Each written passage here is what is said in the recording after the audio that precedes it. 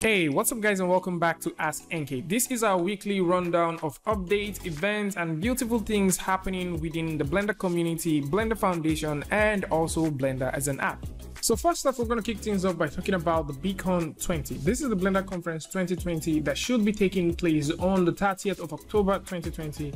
But due to the global pandemic and you know safety, everyone wants to be alive and you want your developers to be as well this is not going to be happening in a physical space. So what the guys at Blender Foundation are offering so that you can also be a full partaker of this particular event is they are issuing a BCon 20 comfort box. Now, if you want to get this comfort box, you can simply go over to the link which I'm going to put in the description where you can get this. Now, the whole idea for this is to gather apart and they're trying to, you know, fuse that same feeling. Even though we are apart, we are still going to share several things together. Now, once you get the comfort box, you'll be able to find the BCon 20 t-shirt. There's a straw waffle, a postcard, sticker, and some more goodies that you're going to find in the box. Now, this is a limited offer and you have only today, which is the 10th of September to grab your own copy. And if you want to get this, you can simply go over to the link, which I'm going to put in the description, where you can find this. You can choose the option for the t-shirt size that you want and just add to cart and you'll be able to also celebrate the Blender conference with all of those goodies inside that box. With this said, let's talk about developments. So we have some very interesting developments that has happened within the week and the very first one is Blender 2.83.6 being released. So this version is the LTS version. We did a video about that. I'm going to put a link in the description where you can find it. And yes, we also talked about, you know, the pros and cons, what you need to consider.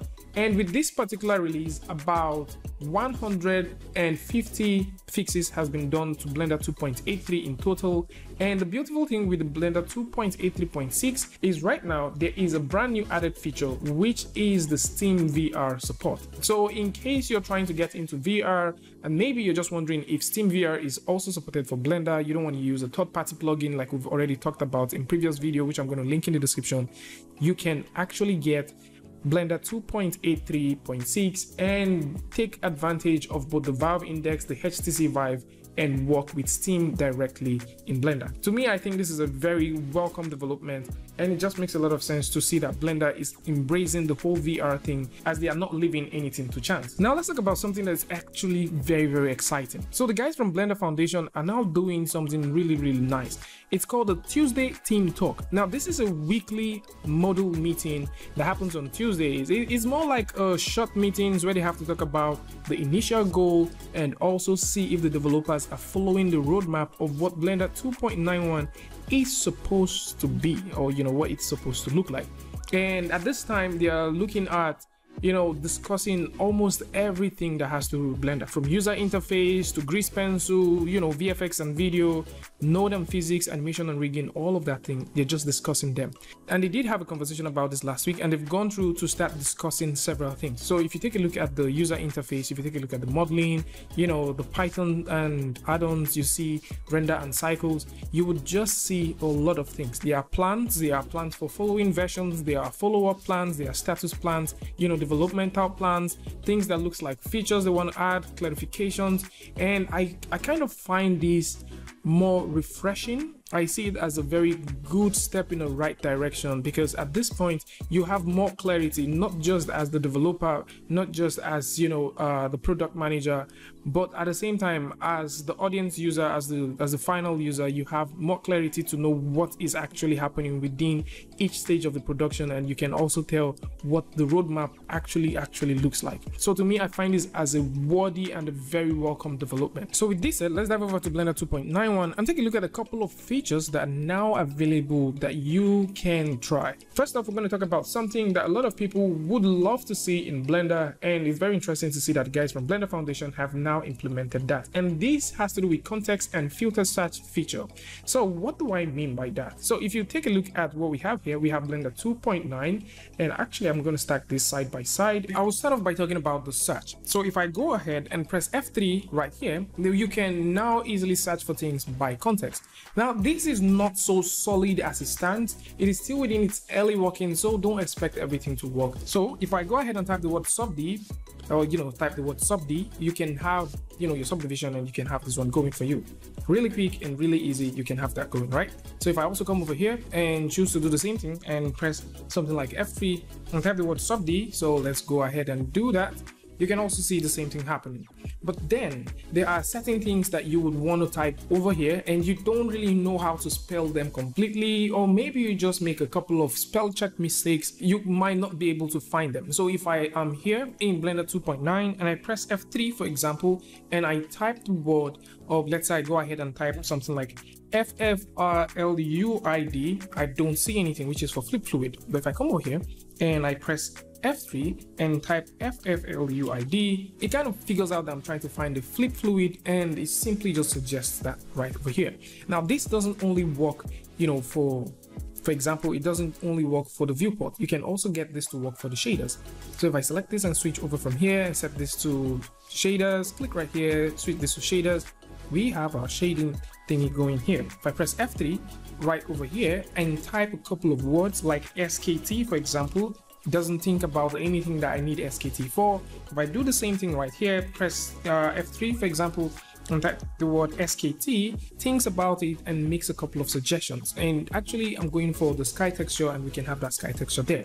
I can also type things like EMS for example, and it can also suggest a couple of words and you can see I can get the emission happening there.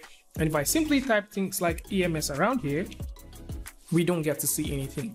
Another good example is also typing words like SSS. You see it doesn't show up anything.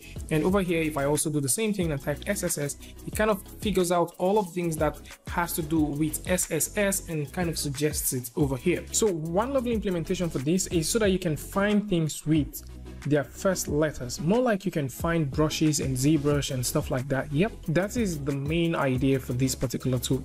But for the most part it's it works but it doesn't really work as much as you can expect them to work when you're considering things like Houdini and how Houdini actually handles it. If I also go ahead and type maybe something like MS for example it kind of gives me something like you know memory statistics, stuff like that. Yep, those things make sense. But when you start thinking about it from the point of modifiers, it is still in the works, okay? So it's still in the works, and this is where Houdini actually beats it. So for example, let's go ahead and say uh, we're looking for simple deform. So if I press F3 on the keyboard and type SD, we would not be able to find the simple deform. I mean, we have to scroll all the way down, down, down, down, down before we even think of finding something that has to do with simple deform. But in Houdini, you have these things at the tip of your fingers.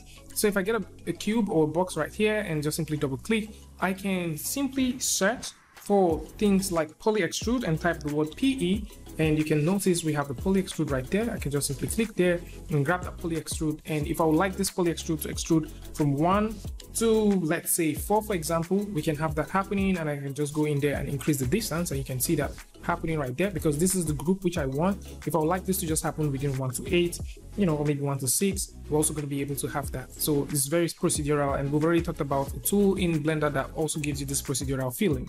Now what I'm going for is we can also choose to get something like a sphere, for example. So if we like to scatter these based on points, it is very easy to actually get this one going. So instead of typing the whole copy to points like we have right here, I can just type CTP and it understands that I'm going to copy to point. and I know this is something that is definitely going to be coming over to Blender very soon but up until this time I don't really think you know it has it all figured out but it's a very good step in the right direction to see that we now have something like this which is now in the works and hopefully this is going to get even way better so diving back over to Blender, let's also talk about some other cool, nice features that are also coming. And these ones has to do with sculpting. So if I simply select the object, click right here and switch over to the sculpt, let's actually bring this one down, bring this over to this side and drag this out. You will literally notice that there's nothing new here.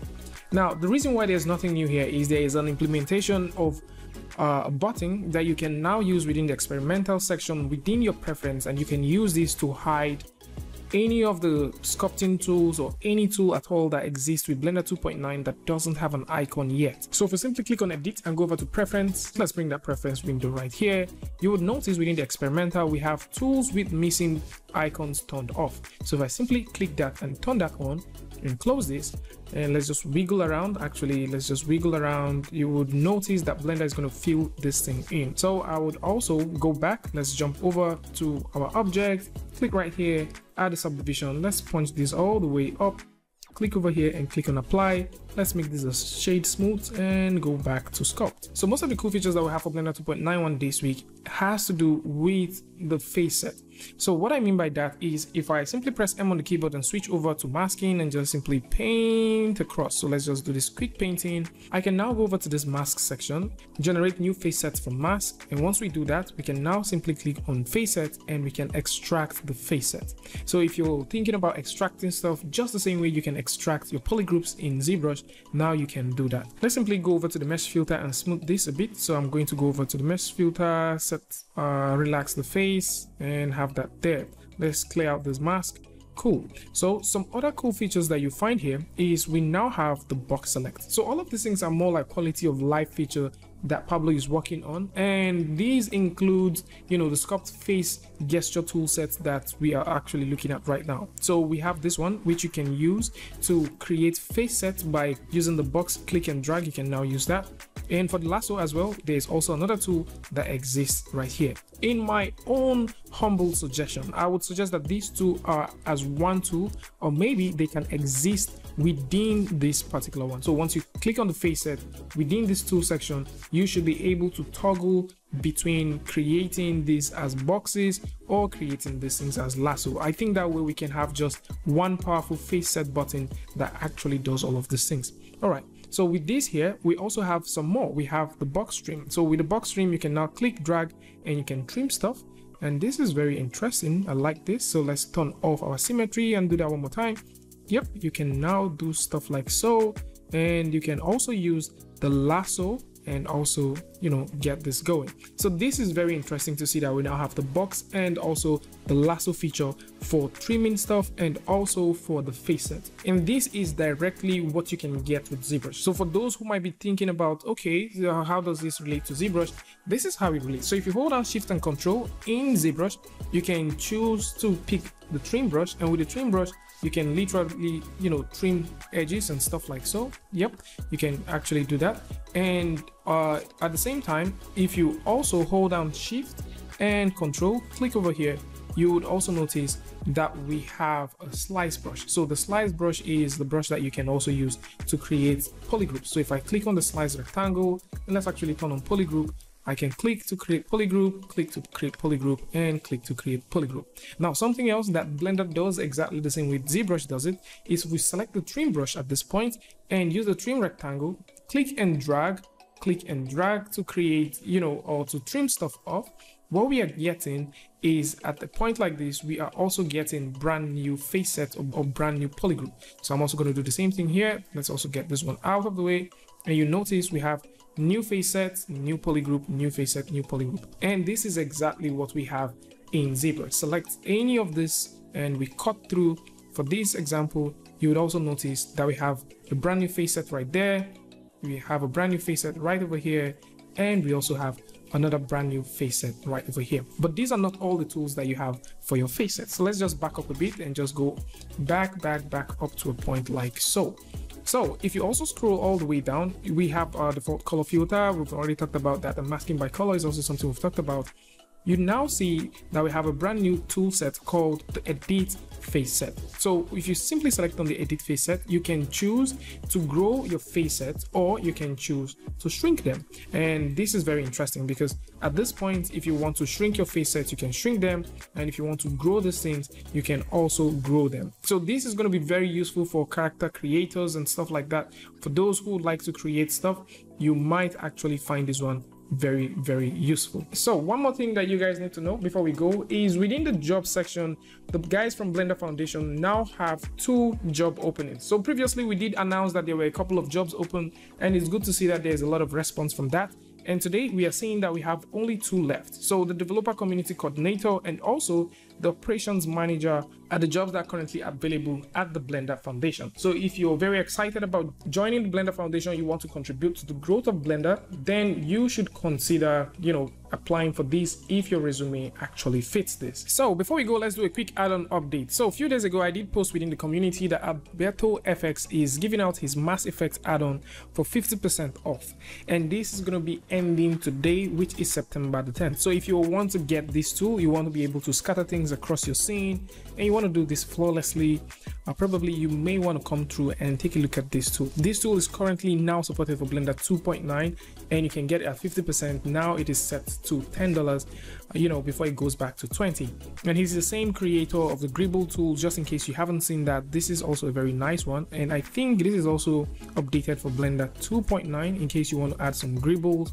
And probably you've also seen this tool that he created which is you know the quad wrap tool and for those asking about the transportation add-on the transportation add-on has also been updated i think i talked about this last week but it has also been updated for blender 2.9 so in case you're looking for uh, an add-on that you can use to add some lovely trucks in your scene, an add-on that you can use to control the HDRI of your scene, an add-on that you can use to drop things or snap them to the floor. You want some customizable cars, things that's compatible with both Eevee and cycles yep you can get these and even more features that comes with this. I'm to put a link to all of these and also to some very interesting add-ons that you might also find in the description. So tell me what you guys think about all of these things that we've talked about today in the comment section. Of course if you like this video or you learned something from this you can go ahead and give it a like and don't forget to share with a friend. And if you're new here it's going to be amazing for you to hit the subscribe button and also turn on notifications so that you don't miss the next video or the next update. And until I see you guys again with a tutorial update, free Friday, tutorial Tuesday, tips and tricks, things like this. Peace.